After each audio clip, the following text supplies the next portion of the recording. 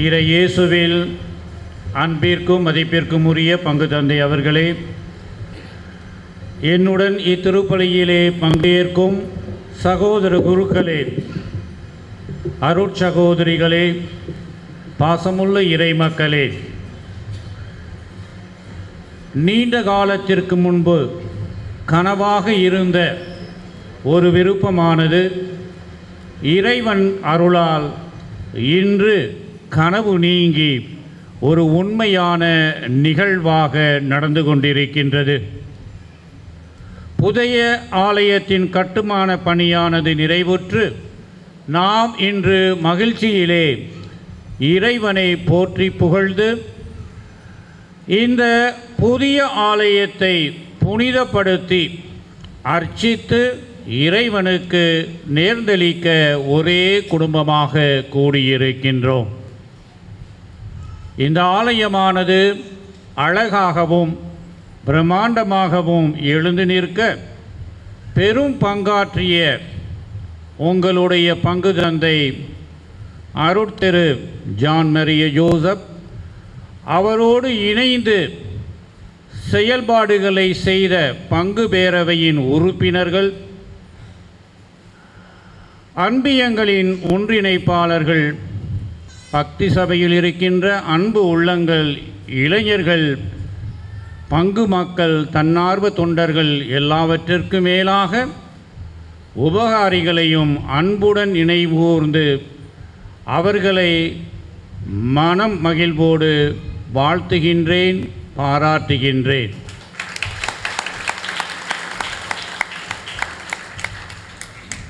உங்களுடைய பங்கு தந்தை இந்த ஆலயத்தை கட்டிய விதம் அபரிவிதமானது. என்னிடம் வருவார் அடிக்கடி என்னை பார்த்து விட்டு போய்விடுவார் ஒரே வார்த்தை சொல்வார் எல்லாம் நல்லா போயிட்டுருக்குன்வார் அது மாதிரி எல்லா பங்குசாமியும் செஞ்சால் ரொம்ப நல்லாயிருக்கும். Everything goes on well ஏனெனில் இறை நம்பிக்கையோடு இறை ஆலயத்தை அவர் கட்டி எழுப்பிய வண்ணத்திற்காக தனிப்பட்ட விதத்திலே அவரை பாராட்டுகின்றேன். அவருக்கு என்னுடைய நன்றியை செலுத்துகின்றேன். அன்புக்குரியவர்களே எதற்காக ஒரு ஆலயம் கட்ட வேண்டும் என்ற ஒரு கேள்வியானது அடிக்கடி நம்முடைய உள்ளத்திலே வரும். பங்கு பேராலயம் அது பங்கு ஆலயம் என்பது இறைவன் பிரசன்னமாக இருக்கின்ற ஒரு இல்லம் என்பது நமக்கு தெரியும். அதை இவ்வாறு கட்டுவதின் மூலமாக நாம் எதை அடையப் போகின்றோம்? எந்த பயனானது நமக்கு கிடைக்கும்? இதன் மூலமாக நாம் நம்முடைய பங்கிற்கு பெருமையை சேர்த்து கொள்கின்றோமா? அல்லது ஆன்மீக வாழ்வில் வளர்வதற்கு இந்த ஆலயம் நமக்கு உறுதுணையாக இருக்கும் என்ற நம்பிக்கையில் நாம் இதை கட்டி முடித்திருக்கின்றோமா? அல்லது பக்கத்திலே இருக்கின்ற பங்குகளில் பிரம்மாண்டமாக ஆலயங்கள் இருக்கின்றது எங்களுடைய பங்கிலும் அத்தகைய ஆலயம் இருந்து எங்களுடைய பங்கானது சிறப்பு பெற வேண்டும் என்ற ஒரு எண்ணத்தில் கட்டி எழுப்பி இருக்கின்றோமா? இவ்வாறு பல வகையான எண்ணங்கள் கேள்விகள் நம்முடைய உள்ளத்திலே வரலாம். இன்றைய இந்த திருள் நிகழ்விலே உங்களுக்கு விவிலிய அடிப்படையிலே மூன்று கருத்துக்களை சுருக்கமாக கோரி இந்த ஆலயமானது எவ்வாறு இறைவன் வசிக்கும் இல்லமாக இருந்து இறை பிரசன்னத்தின் மூலமாக நாம் இறை அருளை பெற்று நம்முடைய ஆன்மீக வாழ்வில் வளரவும் அதே சமயத்திலே நம்மிடையே இருக்கின்ற சகோதர உறவில் வளர்ந்து கிறிஸ்து இயேசுவின் சான்று பகருகின்ற சீடர்களாக வாழவும் இந்த ஆலயம் கட்டப்பட்டிருக்கின்றது என்ற உண்மையை உங்களுக்கு எடுத்து கூற விரும்புகின்றேன். இன்றைய வாசங்கள் எல்லாம் இக்கருத்தினையே வேறுபட்ட நோக்கத்திலே வேறுபட்ட வழியிலே நமக்கு எடுத்து கூறுகின்றது. விவிலியத்திலே இருக்கின்ற மூன்று உருவகங்கள். முதல் உருவகம் கானான் தேசம். இறைவன் தன்னால் தேர்ந்தெடுக்கப்பட்ட இஸ்ராயல் மக்களுக்கு அவர் வாக்குறுதி கொடுக்கின்றார். உங்களை செழிப்பு நிறைந்த ஒரு நாட்டிற்கு அழைத்து சென்று உங்களுக்கு வேண்டிய அனைத்து நன்மைகளையும் செய்து உங்களுடைய சந்ததியானது என்றும் பெருக செய்வேன் என்று கூறுகின்றார். கானான் தேசம் எதை நமக்கு குறிக்கின்றது? முதலாவதாக அது ஆசி நிறைந்த இறை இல்லமாக இருந்தது. அன்புக்குரியவர்களே இன்று நாம் கற்றி இறைவனுக்கு புனிதப்படுத்தி அர்ச்சித்து நேர்ந்தளிக்கின்ற இந்த புதிய ஆலயமும் கூட இறை ஆசி நிறைந்த இல்லமாக இருக்கின்றது. கானான் தேசத்தை பற்றி சொல்லும் பொழுது எல்லோரும் கேட்டிருப்போம் பாலும் தேனும் பொழியும் தேசம் கானான் தேசம். போய் பார்த்தீங்கன்னா அங்கே ஒன்றுமே இருக்காது. ஆனால் இறைவன் அவ்வாறு கூறுகின்றார் பாலும் தேனும் நிறைந்த பொழியும் தேசத்தை உனக்கு கொடுப்பேன். பழைய ஏற்பாட்டத்திலே இரண்டு முக்கியமான தொழில்கள் இருந்தன. மக்கள் நாடோடிகளாக இருந்த பொழுது ஆடு மேய்ப்பது மக்கள் குடியேறிய பின்பு அங்கு விவசாயத்தை செய்வது. எனவே ஆடு மேய்க்கும் பொழுது அவர்களுக்கு அபரிவிதமாக என்ன கிடைத்தது? ஆடுகள் கொளுத்திருந்தன அதனால் பால் நிறைய கிடைத்தது. அதுதான் பால் பொழியும் பூமி. இரண்டாவதாக வயல்கள் செழிப்பாக இருந்தன. அதனால் மலர்களில் நிறைந்திருந்த தேனை வண்டுகள் அதிகமாக சேகரித்து அதன் மூலமாக தேன் அபரிவிதமாக அங்கு இருந்தன. ஆகவே கானான் தேசத்தை பாலும் தேனும் பொழியும் நாடு என்று அழைப்பதின் அர்த்தம் கானான் வளம் நிறைந்த நாடு இறைவன் ஆசீரை பெற்ற நாடு. இது பொருள் வளத்தில் மட்டுமல்ல இறை ஆசீரின் வளத்திலும் நிறைந்ததாக இறைவன் நமக்கு அந்த கானான் தேசத்தை கொடுத்திருக்கின்றார். அதே நிலையிலே தான் அன்புக்குரியவர்களே இன்று நாம் அர்ச்சிக்கின்ற இந்த ஆலயமானது நேர்ந்தளிக்கின்ற இந்த ஆலயமானது பொருள் அளவிலே வளத்தை காணவில்லை. மாறாக இறை ஆசிரை பொழியும் ஒரு இல்லமாக இருக்கின்றது. இன்றைய முதல் வாசகத்தில் இதைத்தான் கேட்டோம். இசக்கியல் இவ்வாறு கூறுகின்றார். ஆண்டவரின் மாட்சி கோயிலில் நிரம்பி இருந்தது. இந்த புதிய ஆலயத்திலும் கூட இன்று நிரப்பும் அதே மாட்சி இறைவனின் மாட்சியாக இருக்கின்றது இறைவனின் ஆசிராக இருக்கின்றது. அன்பார்ந்தவர்களே இறைவன் கானான் தேசத்தை இஸ்ராயல் மக்களுக்கு கொடுத்தார். ஆனால் இந்த புதிய இல்லத்தை உங்களுக்கு கொடுத்து அதன் மூலமாக இறை ஆசிரை நிறைவாக கொடுக்கின்றார். எனவே நான் தொடக்க நூலிலே பனிரெண்டாவது அதிகாரத்தை எடுத்துக்கொள்வோம். வசனம் ஏழிலே இவ்வாறு படிக்கின்றோம். உன் வழிவரும் மரபினருக்கு இந்நாட்டை கொடுப்பேன். அன்புக்குரியவர்களே அபிரமாமுக்கு கொடுத்த வாக்குறுதி ஏறக்குறைய கிமு ரெண்டாயிரத்தி ரெண்டாயிரத்தி ஆண்டிலே. ஆனால் அது கொடுத்த வாக்குறுதி நிறைவேறியது எப்பொழுது தெரியுமா? யோசுவாவின் காலத்திலே அதாவது கிமு ஆயிரத்தி இருநூறாவது ஆண்டிலே ஏறக்குறைய இறைவன் கொடுத்த அந்த வாக்குறுதியானது நிறைவேறியது எண்ணூறு ஆண்டுகளுக்கு பிறகுதான். எனவே இந்த ஆலயத்தை கட்டுவது கூட நிறைய ஆண்டுகள் எடுத்தன ஆனால் எண்ணூறு ஆண்டு ஆகலை. ஆனால் இஸ்ரேல் மக்கள் பொறுமையாக இருந்தார்கள். இறை ஆசிர் அவர்களுக்கு கிடைக்கும் என்ற விதத்திலே அதே போன்றுதான் இந்த பங்கிலே உள்ள மக்களாகிய நீங்களும் பொறுமையுடனும் நம்பிக்கையுடனும் இந்த இறை ஆசிரை இன்று பெறுவதில் நான் பெரும் மகிழ்ச்சி அடைகின்றேன். இரண்டாவது கருத்து நம்முடைய சிந்தனைக்கு மிகவும் தேவையானது. இப்புதிய ஆலயமானது இறை இரக்கத்தை வழங்குகின்ற இடமாக ஸ்தலமாக இருக்கின்றது. பழைய ஏற்பாட்டிலே பார்க்கின்றோம். எண்ணாகமத்திலே அதிகாரம் முப்பத்தி ஐந்து. இறைவன் ஆறு அடைக்கல நகர்களை உருவாக்க விரும்புகின்றார்.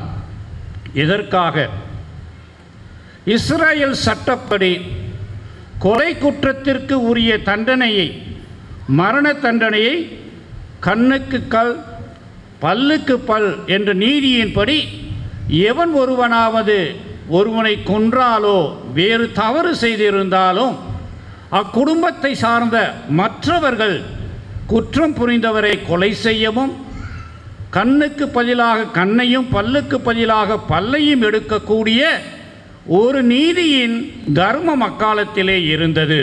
ஆனால் சில சமயங்களிலே விபத்தின் காரணமாக ஒருவர் இறந்து விட்டாலும் கூட அங்கு இந்த நீதி தர்மம் இருந்து கொண்டிருந்தது. எனவே அத்தகைய தண்டனைக்கு உள்ளாகாமல் நிரபரதியாக இருக்கின்ற ஒருவனை காட்பதற்காக அக்காலகட்டத்திலே அடைக்கல நகர் என்ற ஒரு நகர் கட்டப்பட்டது. எவன் ஒருவன் தவறை உண்மையாக செய்யாமல் அந்த நகரை நோக்கி சென்று அங்கு அடைக்கலம் புகின்றானோ அவனுக்கு பிறரால் எந்தவிதமான ஆபத்தும் ஏற்படாது. அங்கு இருக்கின்ற லேவியர்கள் நீதியின்படி உண்மையை அறிந்து அவனுக்கு தண்டனை கொடுப்பார்கள்.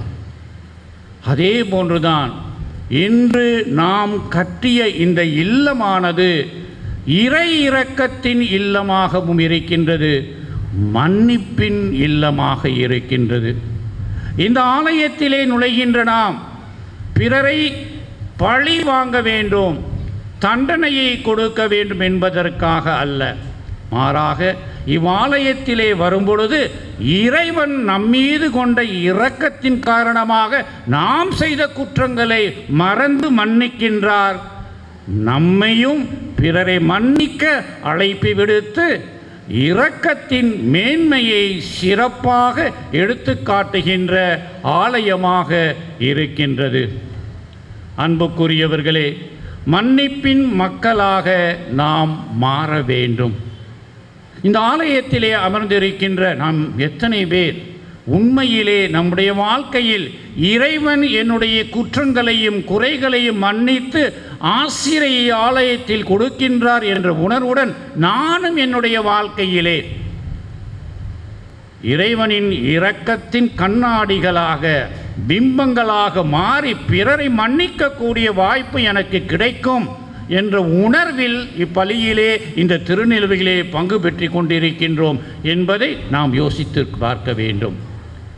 மூன்றாவது உருவகமானது இப்புதிய ஆலயம் இறைவன் நமக்கு வழங்கும் விண்ணக எருசலேம். விவிலியத்திலே எருசலேம் நகரானது எண்ணூறு முறை எஸ்ஜி அந்தனிசாமி அவர் தெரியும் நினைக்கிறேன். திருநகரம் என்ற சியோன் நகரம் என்றும் அழைக்கப்படுகின்றது. Over eight hundred times the Bible refers to Jerusalem as a city of God and the city of Zion விண்ணக நகரான சியோனின் முன் அடையாளமாக இஸ்ராயலுக்கு வழங்கப்பட்டது எருசலேம் நகரம். எதற்காக?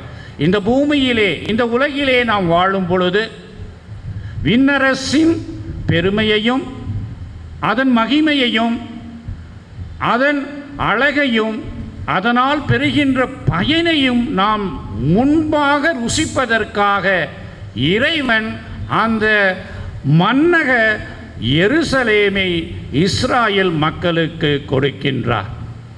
அதே போன்றுதான் இன்று நீங்கள் கட்டிய இந்த ஆலயமானது எருசலேம் நகரில் இருக்கின்ற அந்த ஆலயத்தை போன்று விண்ணக அரசை நமக்கு முன்பாக இவ்வுலகிலே சுவைக்கக்கூடிய ஒரு வரத்தையும் ஒரு வாய்ப்பினையும் தருகின்ற இறைவனின் மன்னக எருசலேமாக இருக்கின்றது. இந்த ஆலயத்தில் நாம் முன் மூன்று விதமாக இந்த உணர்வை பெற்றுக்கொண்டிருக்கின்றோம். ஆலயத்தில் கூடியிருக்கின்ற நாம் அனைவரும் பல வகையான எண்ணங்களை படைத்தவர்கள் பல வகையான நிலையிலே இருக்கின்றவர்கள் பல வகையான ஆன்மீக வாழ்க்கையை வாழ்ந்து கொண்டிருக்கின்றவர்கள். இருப்பினும் இந்த ஆலயத்திலே வரும்பொழுது இறைவன் முன்பாக நாம் ஒரே குடும்பமாக இருக்கின்ற காரணத்தினால் நாம் அனைவரும் இறைவன் மூலம் நாம் ஒன்றாக இணைக்கப்பட்டு இறை உறவில் நாம் வாழக்கூடிய ஒரு வாய்ப்பை இந்த ஆலயம் நமக்கு முதலிலே கொடுக்கின்றது. இதைதான் நம்முடைய இறப்பிற்கு முன்பாக பின்பாக விண்ணகத்திலே நாம் ஒரே குடும்பமாக மூவொரு கடவுளின் அன்பிலும் மகிமையிலும் வாழ்வோம் என்பதற்காக. இரண்டாவதாக இந்த ஆலயம் எதை நமக்கு காட்டுகின்றது? A of right right with God God. City of God is is but but the to to God our father இதை இதைதான் இன்றைய நற்செய்தியிலே கூறுகின்றோம் பரிசுத்த ஆவியிலும் உண்மையிலும் ஆண்டவரை நாம் வழிபடுவதற்காக. அன்புக்குரியவர்களே உண்மையான வழிபாடு ஆவியின் மூலமாக நிரப்பப்பட்ட வழிபாடாக இருக்க வேண்டும். நீதிக்கும் நேர்மைக்கும் ஏற்ற வழிபாடாக இருக்க வேண்டும் என்பது இரண்டாவது கருத்து. மூன்றாவதாக a place of right service to God இறை விருப்பத்தை சரியான விதத்தில் உணர்ந்து அறிந்து புரிந்து அதை நிறைவேற்றுவதற்கு இறை அருளை நாடி இறைவன் தருகின்ற சக்தியின் மூலமாக வரத்தின் மூலமாக சாட்சி பகிர்கின்ற வாழ்க்கையை அமைத்துக் கொள்ளுகின்ற மன்னக எருசலேமேகமாக இந்த ஆலயம் இருக்கின்றது.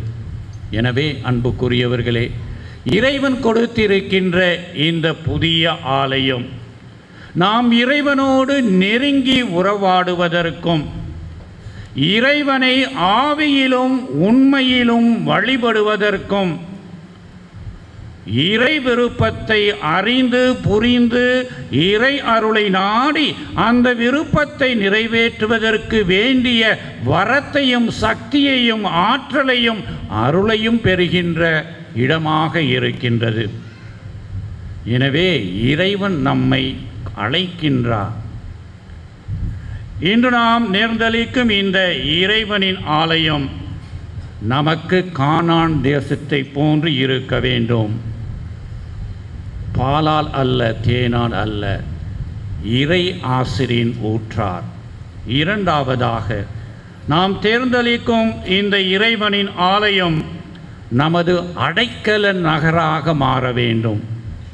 இறை இரக்கத்தின் மேன்மையையும் மாண்பையும் உணர்ந்தவர்களாக அந்த இறை இறக்கத்தை சுவைத்து அதை நமதாக்கி அதை பிறருடன் பகிர்ந்து கொள்ளக்கூடிய மன்னிப்பின் மக்களாக மாற மூன்றாவதாக இன்று நாம் நேர்ந்தளிக்கும் இந்த இறைவனின் ஆலயம் நமது விண்ணக எருசலேம். இறை உறவிலும் ஆவியிலும் எல்லாவற்றிற்கும் மேலாக இறை விருப்பத்தை நிறைவேற்றுவதிலும்.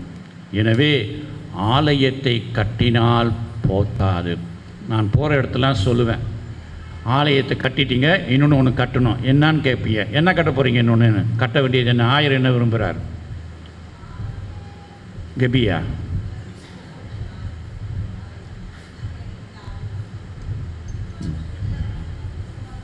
உள்ளம் என்ற தூய ஆவியின் ஆலயத்தை நீங்கள் கட்ட வேண்டும். அன்புக்குரியவர்களே மாறி வர வருகின்ற உலகத்திலே குடும்பத்தின் மேன்மையை உணர்ந்தவர்களாக நீங்கள் வாழ வேண்டும் என்பதுதான் என்னுடைய ஆசை. குடும்பம் நன்றாக இருந்தால் சமுதாயம் நன்றாக இருக்கும் திருச்சபை நன்றாக இருக்கும். நம்முடைய திருத்தந்தை பிரான்சிஸ் அவர்களின் தூதுமடல் Amoris Laetitia the joy of love அன்பின் மகிழ்வு. அந்த நூலிலே படிக்கின்றது என்னவென்றால் குடும்பமானது தூய ஆவியின் இல்லமாக மாற வேண்டுமென்றால் அன்பின் சின்னமாக மகிழ்ச்சியின் சின்னமாக பொறுமையின் சின்னமாக மாற வேண்டுமென்றால் நாம் தனிப்பட்ட விதத்திலே நம்முடைய உள்ளத்தை இறைவனின் தூய ஆவியின் ஆலயமாக கட்டியெழுப்ப வேண்டும். எனவே இன்று கட்டிய இந்த ஆலயத்திற்காக இறைவனுக்கு நன்றி செலுத்துவோம்.